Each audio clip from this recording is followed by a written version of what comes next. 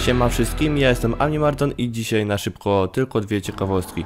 Zaczniemy sobie od polskiego autokaru. Jak widzicie piszę na nim polskie linie autokarowe. Są na nim porysowane cebule i oczywiście ma polską rejestrację.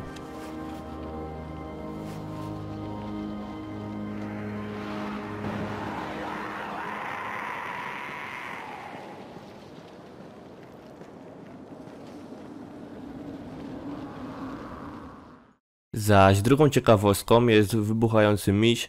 Trzeba jednak przedtem wziąć misję rusznikarz Rupert.